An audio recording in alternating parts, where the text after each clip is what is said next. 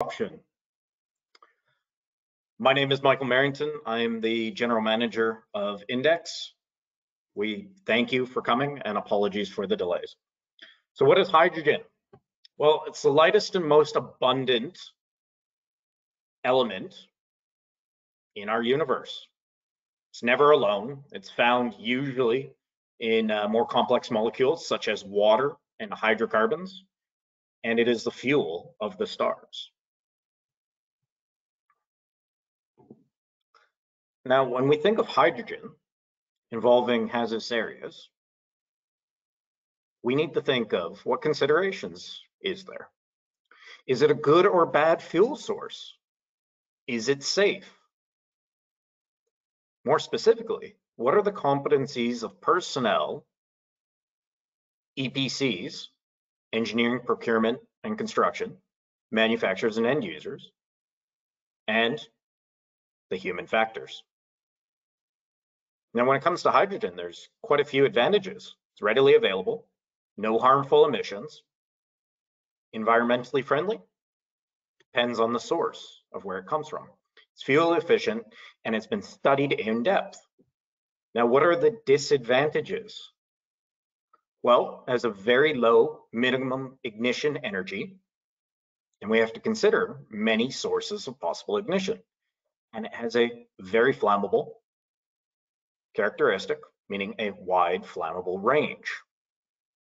Now, when comparing to other things such as natural gas, it disperses much quicker.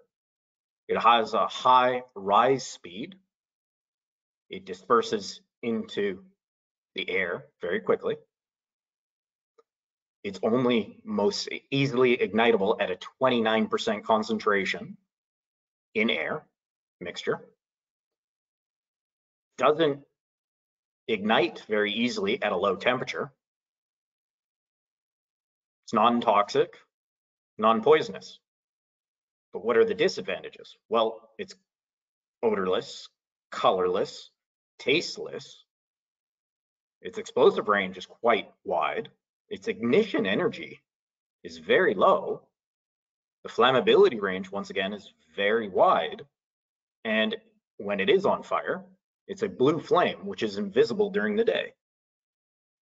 So when we talk about hydrogen characteristics, well, let's ask some questions to people and get your input.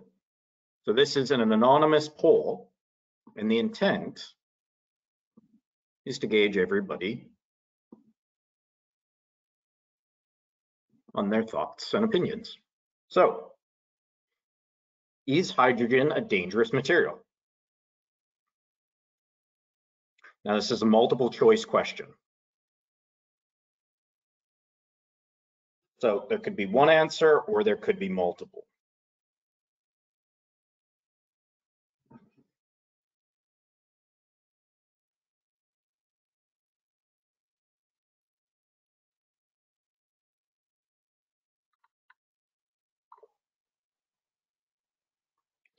Once we get up to about 70% voting, I will close the poll.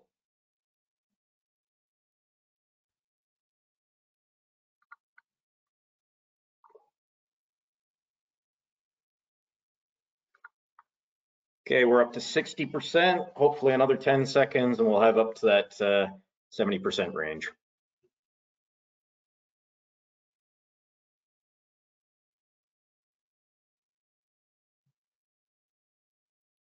If it's not multiple, I apologize for the uh, program acting up again. 61%, I'm gonna close and share now. Okay, so when we talk about hydrogen, is it dangerous? The correct answers on this one are certainly yes, but no, as long as the material characteristics are understood. It also depends on the process, and it also depends on the potential sources of release. So there is four possible answers. I'm glad nobody said no. It is the, uh, besides acetylene, there is probably hydrogen um, carbon disulfide. There's a few other dangerous ones, but this is a very important one. Now, let's ask another question. Can hydrogen be safely used?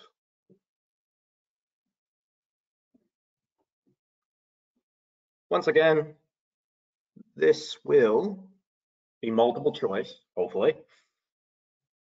This is all anonymous, so.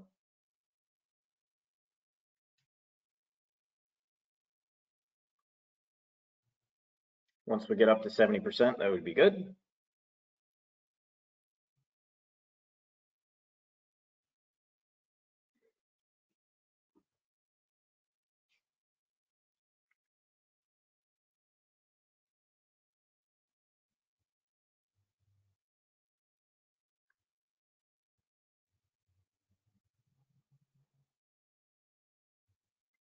So remember, there is no wrong answer. Hmm, perhaps one. But it really is open up to interpretation. Yes, I know it's not multiple choice on this one. This is on purpose to see people's responses and just to show. So it depends on your role and position and history experience, your own competency. So people will give different answers. 67, 68. There we go, good enough. Okay. Can hydrogen be used safely? I would not agree with the uh, straightforward yes answer because it can only be with verification of compliance of, well, the line below, people had the two different choices, they're pretty much the same, but verification of compliance of the hazardous area classification, design, installation, operations, maintenance, and monitoring. I'm glad nobody said that there was no issues in a closed system because closed systems have to be opened for, it looks like maintenance and a few other times. 2% said no. Hmm. Okay. So let's go to, now, where do we get our hydrogen material characteristics from in the hazardous area industry? Well, we go to IEC 80079-20.1, gases and flammable vapors. So when we look there, we find all our different material characteristics. Specifically, our upper flammable limit, 77%, and lower flammable limit, 4%. Now the ignition temperature is quite low, uh, quite high, 560 degrees. We have our gas group or equipment group, as we say, 2C, and temperature class of T1. But an interesting thing is there's been many studies done where the minimum ignition energy is 0.011 millijoules or 0.017 millijoules. So it has a wide range, explosive, flammable range. Now, low minimum ignition energy, high temperature auto ignition. So if we go back to the questions is what is the UFL and LFL? So upper flammable limit and lower flammable limit by volume percentage. Be careful with how this was arranged. First, we started with the upper and then the lower. I can see the percentages changing just now after that. So these are an example of human factors. The chance for human error is high when someone changes something that is not normal. Usually people would start with the lower and then mention the upper.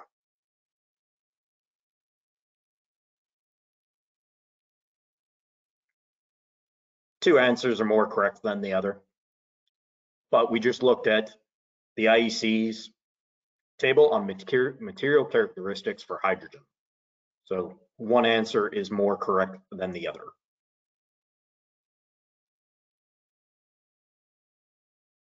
Okay, 60%, we'll share that. So the last answer is not correct because we've swapped around UFL and LFL. This is to show how easy it is to trip somebody up on something so straightforward, okay? That was on purpose. Now, the correct answer is the fourth one, 77% and 4%. So the lower flammable limit is 4% and the upper flammable limit is 77. Now, also within the industry, uh, there are uh, other studies that say from 5 to 74 or 4 to 74. Okay. Now, why is this significant? Well, when we come to the fire triangle, people usually think of oxygen, fuel, and heat. But the other things we need to consider is what about the competencies of the personnel of using this tape, this triangle? What are the what is their skills, knowledge, and experience? What qualifications do they have as a precursor to their competence? And what does heat mean to you?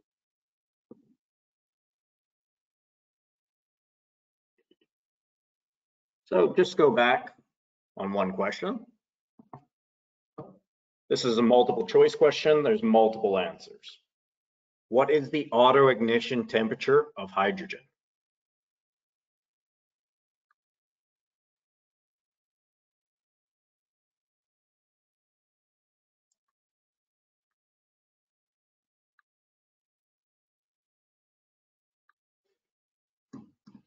So multiple answers on this one. There's also Fahrenheit on there. So I think the one or two Americans that are here should uh, catch that. There you go.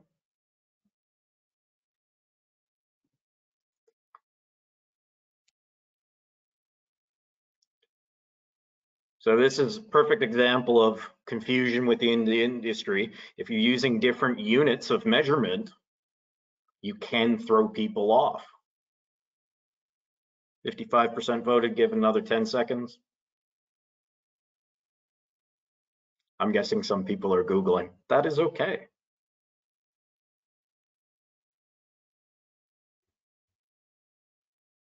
And close and share. So, gentlemen, the correct answers are only 560 Celsius and 1040 Fahrenheit. So as we can see, 34% got the wrong Celsius at, uh, at 460 and the one at 550, that may have tricked some people because it was so close. Okay. Let's just do another one. We shall choose see who looked at that characteristic table. What is the relative density of hydrogen in air?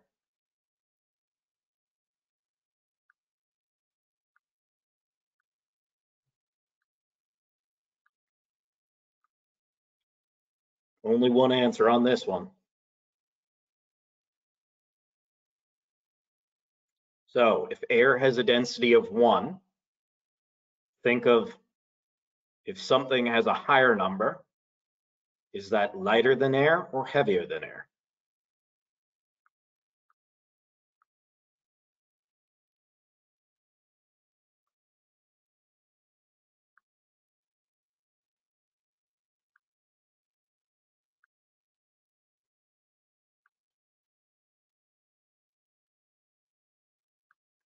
Give another 10 seconds, we're at about 50% voting.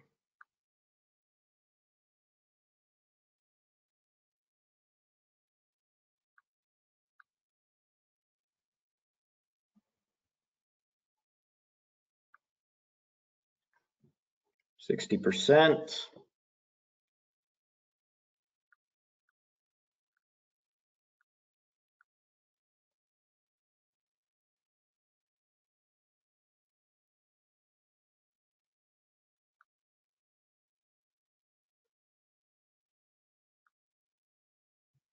Okay, close that share. So gentlemen, the correct answer is 0.07. Hydrogen is lighter than air. It rises at a very rapid pace. So as we can see there, only 43% got that right, and actually 14% uh, said that it was heavier than air. So once again, this is this is potent, perhaps a potential human factors issue within our industries. Okay.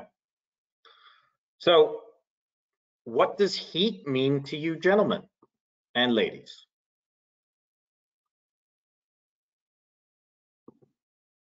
Now, here's another question on this one. Does this fire triangle consider or include static electricity to you? What does heat mean to you?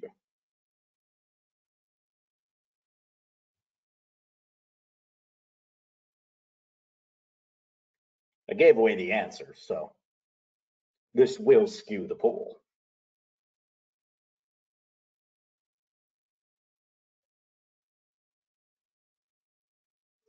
Some people are saying heat does not consider static electricity for one. I see some people are saying the right answer to me in the chat. I agree, but this is learning lessons for everyone. Okay, 70% voted. Okay, now this number was much higher for the number that said no. The problem with the fire triangle is when we say one side only refers to heat, human nature is people only think of open flames and hot things. They do not consider the following 13 plus sources of ignition. Now, highlighted in yellow, so when we replace one side of the fire triangle to ignition source, that would probably get people's attention much more than heat or flames. So what's highlighted in yellow would usually be electrical considerations, such as hot surfaces of our hazardous area equipment, electrical equipment and lights, obviously, spontaneous heating, sparks from electrical equipment, stray currents, electrostatic discharge sparks, also known as static electricity, lightning strikes, electromagnetic radiation, EMC, EM, different, different optical radiation, things like that. Now, when we consider mechanical, well, obviously there's mechanical machinery, machinery and other ones, but also heated process vessels, yeah, and vehicles. What vehicles is there? Well, on a ship, a vessel, an OSV, offshore platform, offshore vessel, you have intrinsically safe forklifts for this very reason. So in the center there, you can see a junction box full of corrosion. Would there perhaps be arcing and sparking going on in the terminals? Or perhaps static buildup? I would say yes. So water ingress, dust ingress, can cause further issues with potential ignition sources. Now, quick question. This one was from our webinar number two. Hopefully people can get this one right. What is the equipment group or gas group to define hydrogen? Whether it be on the data plate, the EX data plate, or on the hazardous area classification drawing. There's multiple answers to this one. Don't be shy.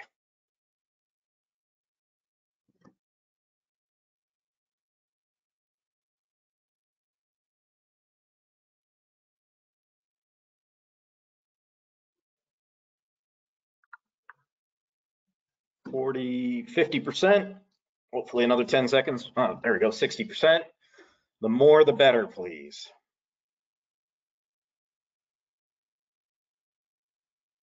So can you mark a motor for a gas group just saying that it's H2 or the word hydrogen? Hmm. And close. So for the Americans, they got their group B down there on the bottom. I don't expect uh, internationals uh, outside of North America to always get that. Now the answer, anybody who gave the answer to 2B, that is not correct. Hydrogen is not part of the 2B gas group, but it is part of 2C, and it is allowed to be highlighted as 2B plus H2, or there is a consideration, let's say a motor has been manufactured and tested only for use in hydrogen, you can mark it as H2 or the word hydrogen. 60079-0, section 29 markings. It is allowed. Okay. So sources of ignition. We got many different types.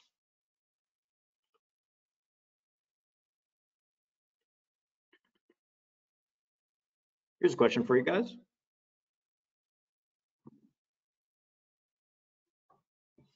Can clothing cause ignition of hydrogen?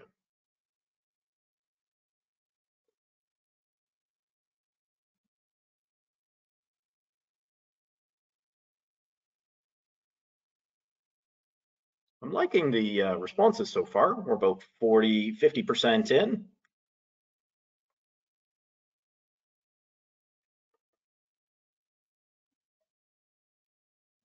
I think this one's skewed because we have a lot of people from uh, hazardous area industries that have a lot of experience and they're used to the type of clothing that they receive.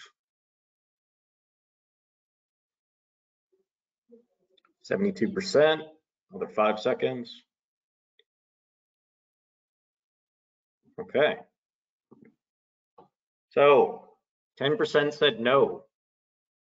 Gentlemen, static electricity. Yeah, hydrogen has igniting, it only takes 0.017 or 16 millijoules of energy to ignite. So, so when we talk about known issues with hydrogen, what are we looking at? Well, we know that there's issue, issues within confined spaces, such as battery rooms, like on the bottom picture there. Machinery spaces, enclosed environments, offshore. The design has to take into account ventilation, gas detection, what's its layout, what are its high, high, high and high, high alarms, earthing and bonding. Hmm. Ignition source reduction. I wonder what that earthing and bonding is for. Ventilation, is it natural? Is it artificial? Does it have redundant systems? Now, what still must be hazardous area HAZLOC in this battery room? Well, anything that turns, that stays on after power loss, UPS systems, emergency systems, also things that must work to turn the ventilation back on your control, your card access, your access into the room, your fire and gas, and your safety instrument systems, as well as your battery transfer switch. Now, known issues in the industry. Well, back in May of 2019, in Illinois, in America, hmm, human-induced faults. The employer either knowingly failed to comply with the legal requirements purposely purposely disregarded or acted with plain indifference to employee safety. Now there was a buildup of hydrogen in the ceiling space and there was an explosion that killed four people. I would disagree with OSHA and CSB's findings. I would put it down to human induced faults. Many times people believe they're right. So they're not purposely disregarding what was supposed to be done they believe they are in the right. They did a risk assessment or ignorance. Ignorance meaning they did not know. But when it comes to court or dealing with regulatory bodies, well, ignorance is not a defense you will ever win with. So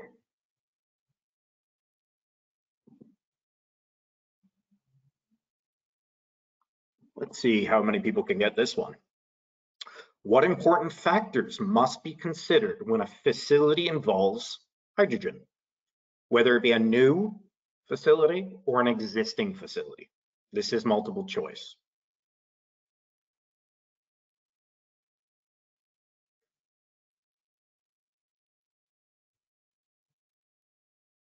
So process type would mean, what is the hydrogen being used for?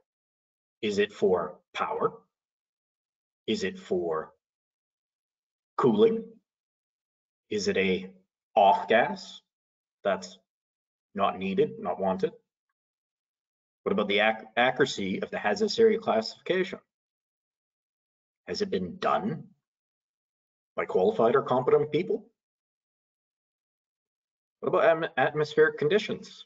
Temperature, wind, salt atmospheres, the type of ventilation, potential sources of release.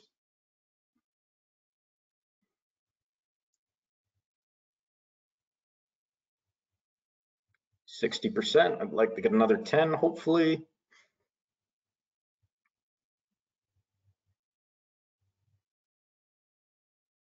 Okay, we'll close that. So what are our correct answers? Well, you do have to consider the process type.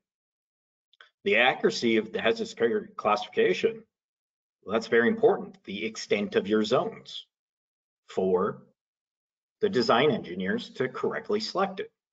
Who created the HAC? Was it one engineer? Did you put all of the responsibilities on that one engineer?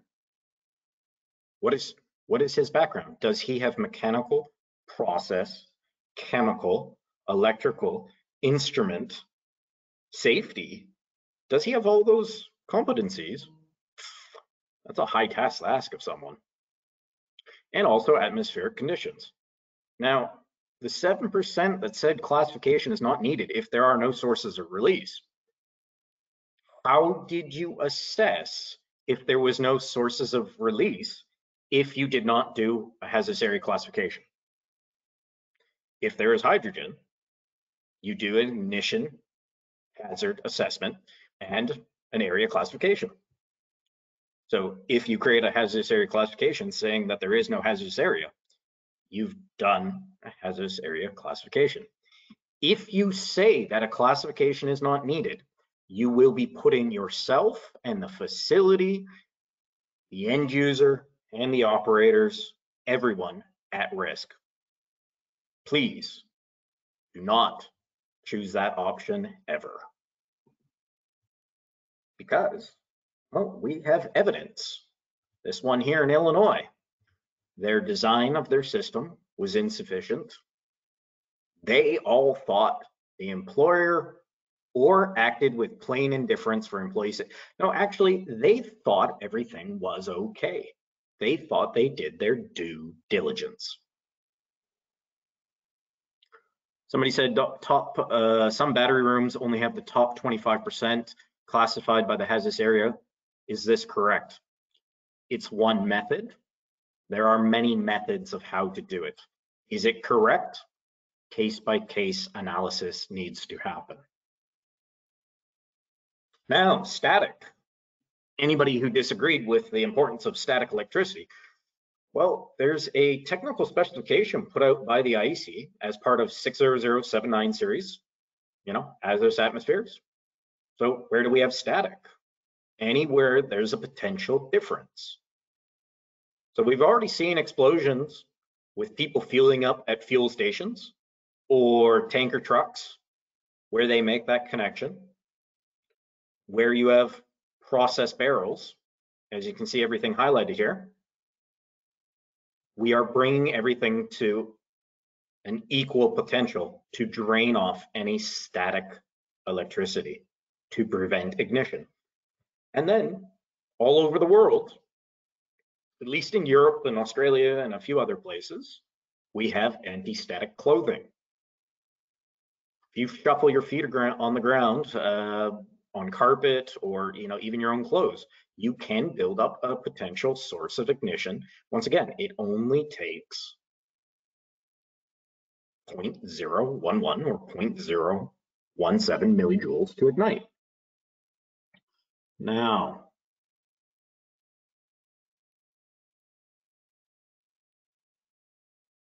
let's ask a question on what we just talked about, what I mentioned. Who shall be considered for an explosion risk assessment and a hazardous area classification? Multiple choice. Now, when you're considering static, this is part of the explosion risk assessment.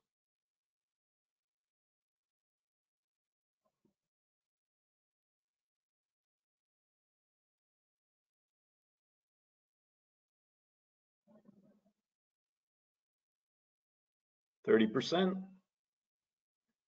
Hopefully we can get up to 70 again.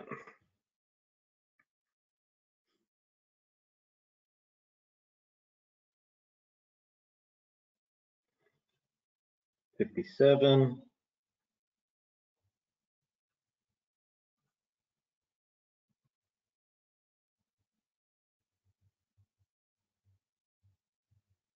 Okay, let's share. Now, the most correct answers that myself would choose would be the bottom two. Definitely all the pros, uh, discipline engineers and a meteorologist and include safety in there. But the 19% that said the process or chemical engineer is sufficient, what do they know about hazardous areas? What do they know about electrical and instrumentation and operations? Have they considered all of the environmental conditions? Lightning strikes, who knows that? Meteorologists. But who knows the earthing systems? The electricians. But what about the instrument earthing systems and the intrinsically safe earthing systems? Well, that'd be the instrument guy. Who knows how the plant operates mechanically? Probably the operations or mechanical engineer. So I would not choose just the process or chemical engineer. And the 31% who say just do as the company says, as they've chosen, if you're involved with the, in a hazardous area classification, or even you're just an inspector, for my own well-being, I would check to see whom has done the area classification. We've already seen in our industry, human factors are 99.9% of all faults. An act of God is very rare. Now, static. Well, a static charge can be measured in millijoules. Typically, you need one millijoule to feel a shock, 10 to 30 to make you flinch, and 1350 to kill you. Shuffling across a carpet can generate 10 to 25 millijoules just 1 to 2% of a lethal jolt. You might generate more at a car. I'm sure all of us have seen a vehicle light up on fire because somebody maybe was using their cell phone or even their clothing just created enough of a static charge. So, and also you have to take into account your maximum body capacitance and humidity. So if hydrogen has a minimum ignition energy of 0.017 millijoules, and we only feel one millijoule, wonder why those battery rooms always blow up if uh, a little bit of static electricity is somehow produced. There's a reason why we wear certain types of clothing even in that space. Now that rack may be perfectly earthed, but one little static discharge at a charging battery at its vent, a VLRA and many of the other types of batteries produce hydrogen and it comes out the vent. Even with dispersion, it still has potential and it still happens yearly or every few years within our industry. Now, when we talk about the hydrogen economy, it's quite big. Well, renewable energy. Well, the nuclear is now starting to talk about producing hydrogen. Yeah, they have excess energy, heat, electricity. So it's very easy to turn the water, well, hydrogen and oxygen. So from fossil fuels, we already know about hydrogen. It's in our process. We are well aware and well competent with it. But not everybody in the facility knows hazardous areas. So why do we have these explosions? Well, lack of awareness. As we've already seen from people's answers during this presentation, not everybody is aware. So what other things shall happen? Well, the hydrogen grid, as more people are utilizing hydrogen specifically in itself, yeah, we have new hydrogen bulk carriers. We already know about LNG, liquid natural gas carriers, and crude oil tankers, but now there are hydrogen bulk carriers. We already know about the hydrogen buses and cars, but now we also have hydrogen ferries and their fuel source is hydrogen. Yeah, the bulk carrier moves it between countries while we have other ones that are now using it as a fuel source. Even the bulk carrier could use the hydrogen as its fuel source. So when we think about hydrogen and we know that it creates hazardous areas, what standards are we applying around the world? Generally, we're looking at ATEX, IECEx, or different variations of it. Europe always had ATEX, America and Canada had their own NEC 500, 505, and then Canada has more moved into the zoning method. Now, within Australia waters, we have a regulatory body called NOPSEMA. They call for everything to be IECEx or ATEX with uh, certain deviations. Within America, onshore, they do accept IECEx, but you have to meet their local electrical requirements. And they still use classes and divs where they won't accept IECEx. Now, when it comes to offshore, well, recently, the Coast Guard was made the, they were the AHJ, the authority holding jurisdiction, and it was announced in 2015 that as of April the 1st, 2018, any new builds, anything new coming into US waters shall be IECEx certified for their electrical equipment, not the mechanical gear yet. So there are differences between onshore and offshore. The first ones to do it were the Australians with an offshore regulator in a uh, well-known capacity. There may be other countries that have done it differently. So what set of standards do we have and use? Well, typically onshore, when we consider around the world, Canada, sometimes in America. They in America they'll use UL or FM or ISA 60079. It's 90% similar, but there are key differences.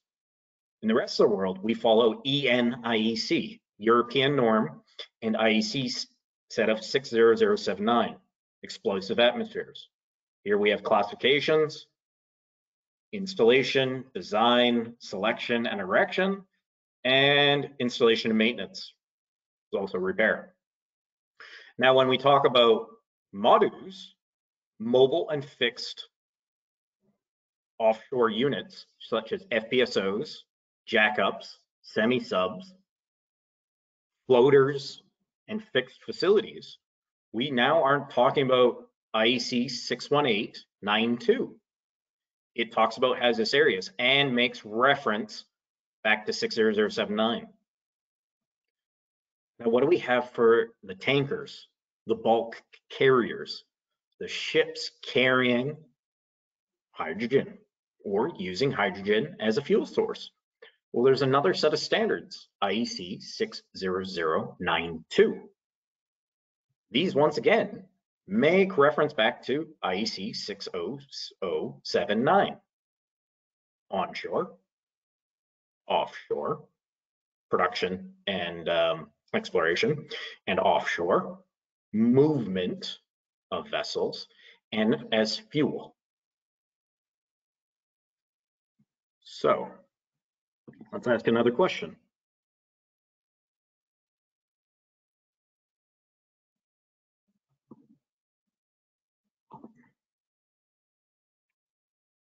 What should be done first? A has HAZOP, hazard. So hazardous, um, looking for hazards, uh, doing your hazard assessment for your overall facility. So this could be a, a new facility or brownfield facility. Or would you do your ignition hazard analysis and your hazardous area classification? Would you do one first, then the other?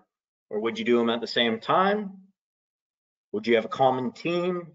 Or would it all be the exact same group?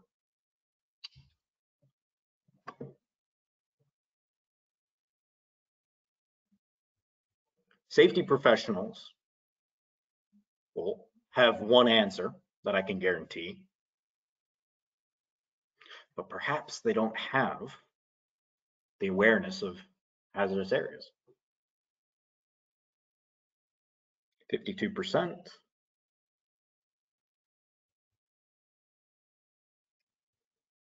Give another 10 seconds.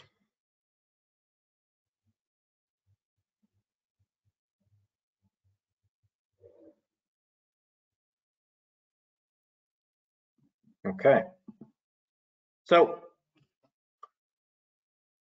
the most correct answer, which would be the most efficient, cost effective, high quality, safe, would be at the same time, generally by a common team. You do your hazardous area classification with all the exact same positions as the HAZOP. You have safety, mechanical, process, chemical, electrical, and instrumentation groups doing both of those assessments. But the problem is some people believe that a area classification and ignition hazard analysis can only be only needs to be done by one person.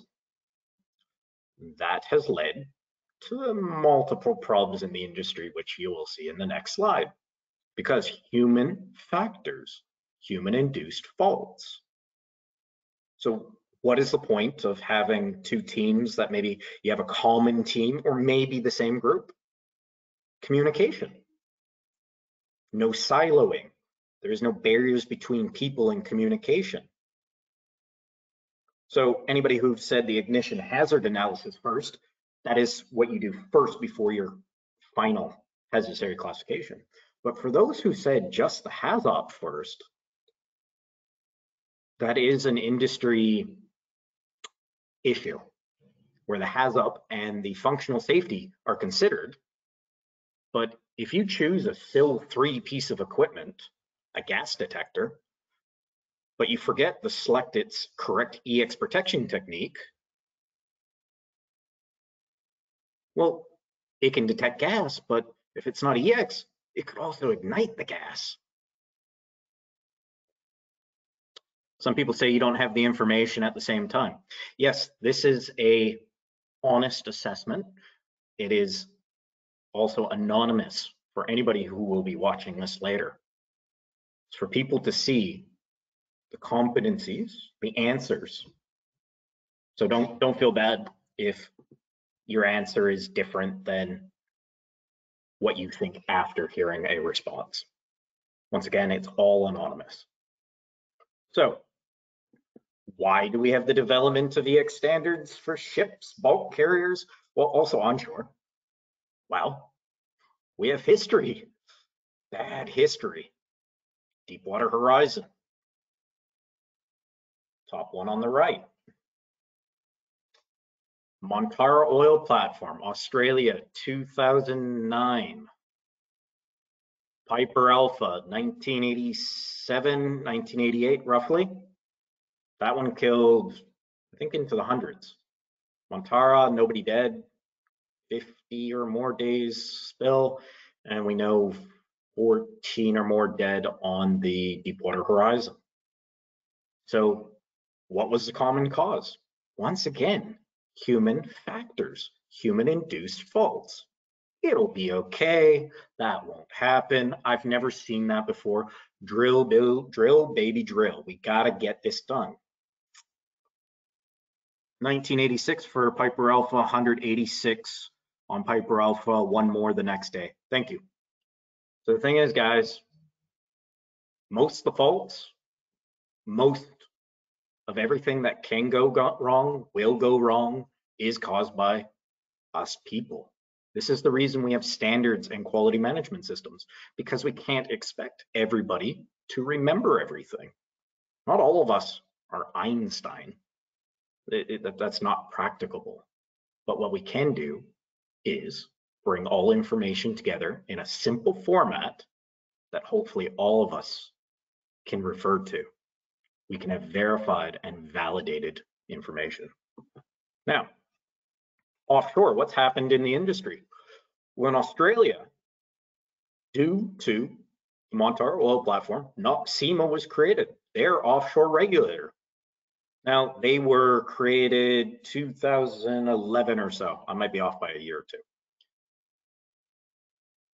But their disaster happened before Deepwater Horizon. So what happened? Well, Deepwater Horizon happened, and in 2015, it was announced that by 2018, the US Coast Guard would be the AHJ, the authority holding jurisdiction for a lot of the MODUs, mobile offshore drilling units, OSVs, offshore support vessels. They would be responsible for the CFR, Code of Federal Regulations as to which standards apply offshore. The US Coast Guard does not permit the use of IATEX fully. It requires IECEx certification. Once again, all new builds. New construction must have a HAZOP plan. In the international community, we know this as an EX register or hazardous area register or verification dossier. Yeah, they refer to in their Code for Federal Regulation 46 CFR 110.25-1. Once again, they call for IECEx certificates of conformity. There are all, also other requirements to electrical codes.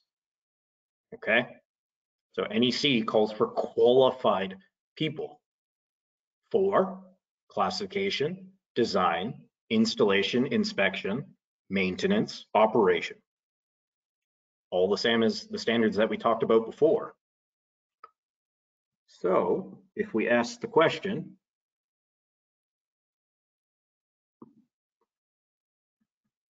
we didn't go over this, but just want to get people's intrinsic opinions. What forms of release need to be considered? Let's say for hydrogen.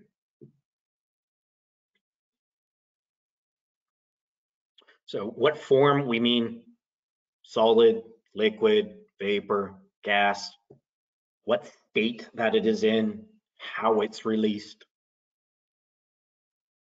Multiple choice. Let's just say there is no answer that is wrong. I hope that changes all the answers.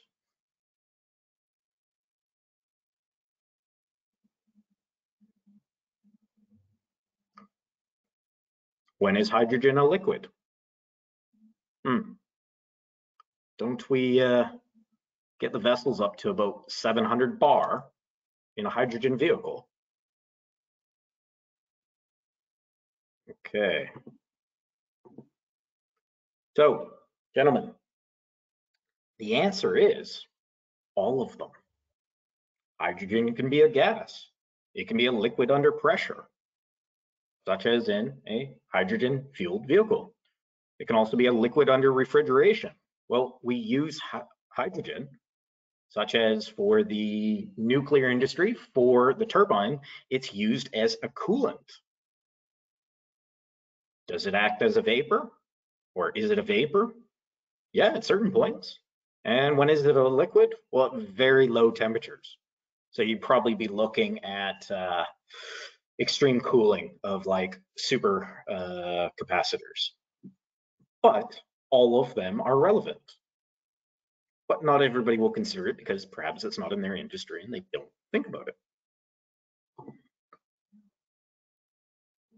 Okay, now for hydrogen, what or where are the sources of potential release? So for the area classification, where can hydrogen leak from? So in a closed system, non-atmospheric process, can it leak or does it not leak?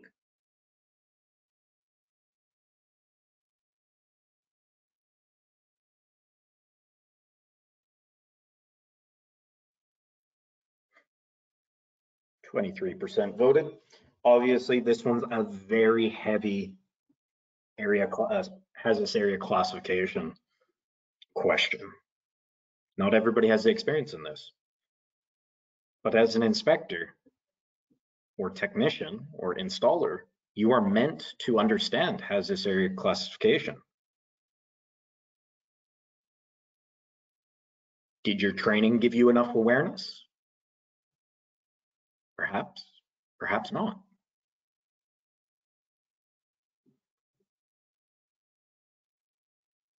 Sixty-two percent, we'll share that. So the last four answers are the correct answers. Anybody that says that a fully sealed system will never leak hydrogen, I'll ask, how do you do maintenance? There's no opening points. Is it fully welded, fully closed? You'll never be able to get into it ever.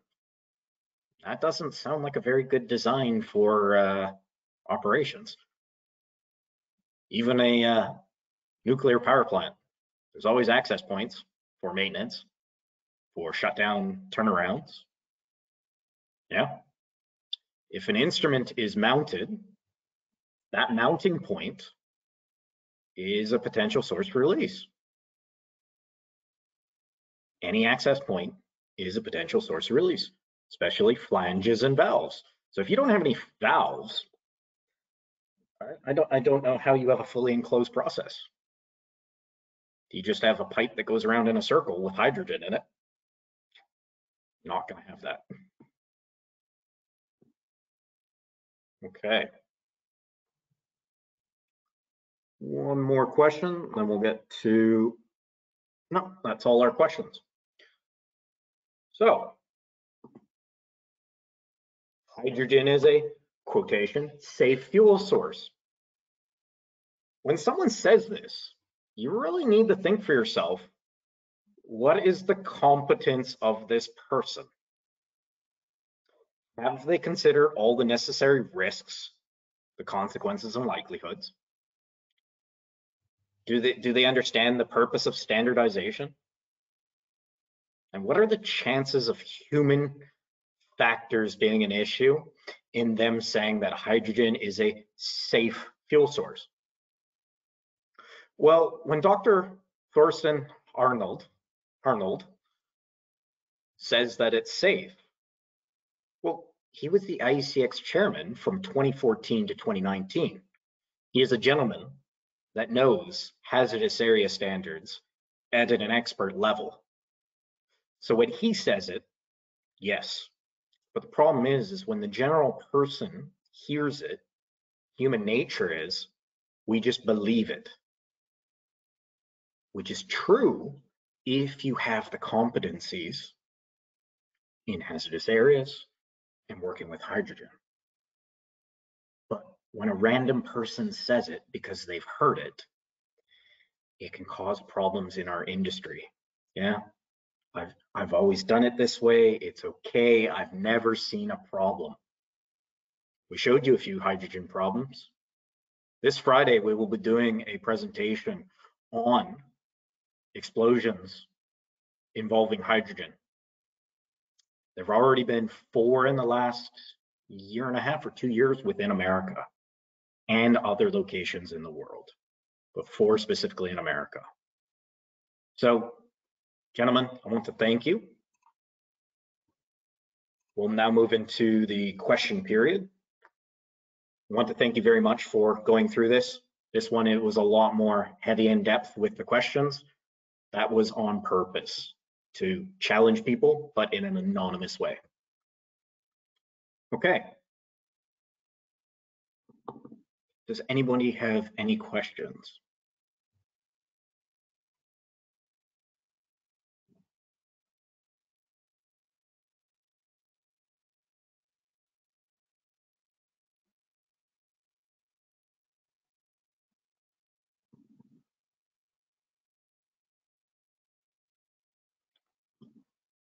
Yes, this one was a lot more in depth than uh, previous webinars.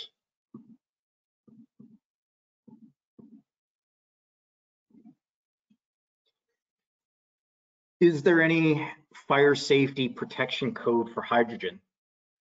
Yes, there are existing standards, which are the hazardous area standards.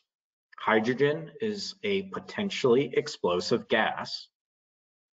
Yes, within the significant with sufficient mixture with air. So we would refer to, depending on where your installation is, we would refer to the relevant hazardous area standard. It could be that you're within America or Australia. So you would refer to your local national nationalized version of the standard. Now, when it comes to fire safety, that could be another standard. Then you also have to take into account electrical standards. So within America, there would be NEC, the National Electrical Code put out by the NFPA, National Fire Protection Agency. In Australia, you would have AS3000, Australian Electrical Standards. Can VLR battery, VLRA batteries considered a, as a solution to minimize hydrogen release in a battery room. So people use VLRA batteries instead of NiCad or uh, other ones because they have a reduced level of hydrogen output. It can be a solution, but still you need to do a ignition hazard analysis and hazardous area classification. Now, you, you can use safety systems to lessen the risk, or you can use proper ventilation. Well, you would have to, but you could increase the ventilation amount, the amount of air, the volume changes per hour to lower the overall volume within the volume of hydrogen through dispersion, dispersing it. With reference to the poll, does this mean someone qualified as a mechanical engineer will not be allowed to carry out a HAC alone? No, that's not what's being said. We are giving consideration showing that does a chemical engineer have the competencies to do the ignition hazard assessment? Do they know all the different earthing systems? Ask yourself that question. Do they need to carry out HAC with someone from another engineering discipline, such as meteorological instrumentation or mechanical engineer? The standard highly suggests that, saying should, depending on the standard. You have standards in different regions. Some will say should, some will say shall, some will say could. What would be safest and best overall would be yes, do it as a team effort. The HAZOP, the hazard, already includes all of those engineers doing that as part of their um, figuring out their safety integrity level requirements. Yeah, SIL and SIF. So why not utilize their expertise for the hazardous area classification? When geometric shapes to be used for interpretation for an explosive zone. Yeah, so geometrical shape will affect, obviously with hydrogen, hydrogen will go up at a rapid pace and can get trapped in roof spaces, in hidden areas where perhaps earthing has not been done, or there is, once again, 13 different type of ignition sources, yeah? Even more than 13. So things need to be well designed. If it's a thin cylinder or an inverted cone, I think you're talking about a specific process. It would depend where that cone or cylinder is installed. If it's outside, is it a uh, area of the world where there's a lot of um, wind or not? Is it hot? Is it cold? Is there walls or buildings perhaps shielding the location from wind? Is there any treatment any treatment able, uh, available to reduce hydrogen gas after hydrogeneration process? Any other alternative methods rather than to vent it to atmosphere directly? Well, you can vent it higher up away from any potential sources of ignition. You can dilute it by dispersing it. Yeah, you can, if it's inside of a, a, a room, such as this battery room, you would have forced ventilation would be would be good, but you have to have backup. But by dispersing it, you would want to get it below 1% LEL and you'd want to get it outside and above any electrical equipment or potential ignition sources. Any other method than to vent into atmosphere?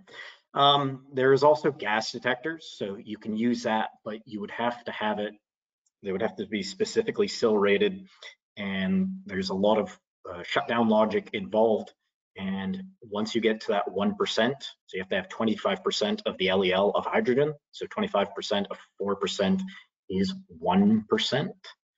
So you would be required to shut down anything that is not EX protected. So your battery transfer switch, things like that would probably always be EX protected and in the room.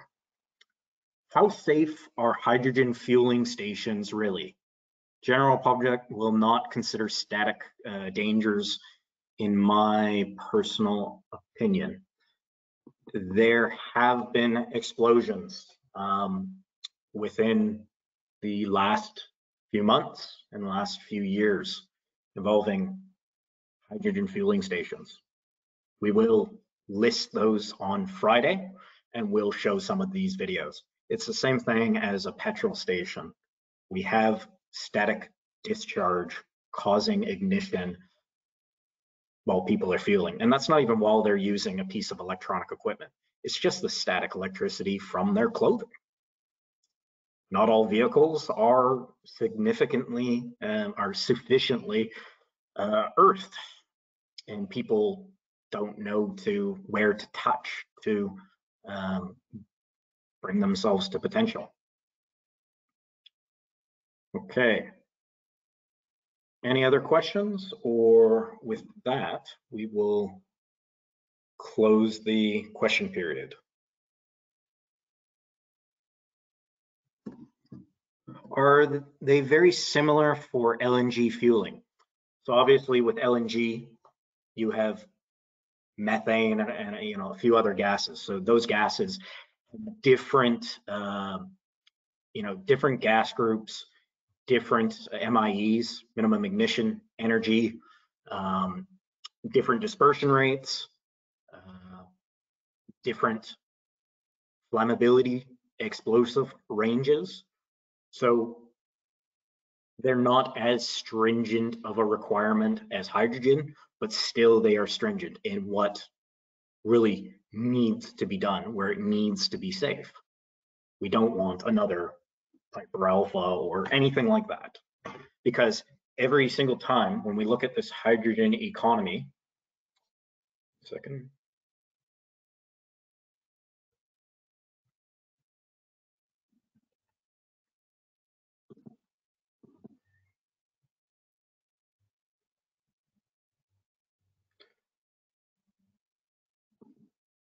So when we look at hydrogen economy, think about the fueling of all these tanks, vessels, buses, chemical plants. Every single time we are transferring hydrogen, we're making a connection. So it's a temporary connection. That's your primary, probably a primary source, primary um, release point, perhaps secondary, depending on which type of flange it is, what type of connection it is. Are there any requirements for battery rooms? Yes, a ignition hazard analysis must be done and a hazardous area classification assessment.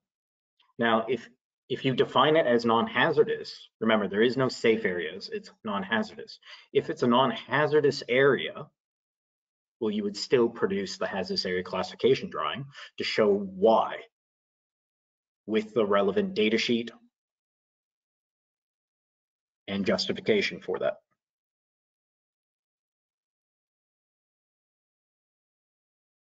Okay, any more questions? Apologies for those who stuck around that it went longer. Um, we just wanted to answer people all, all people's questions but this one was very uh, in depth. The one on Friday will be much easier. It'll be more videos and more awareness of past explosions.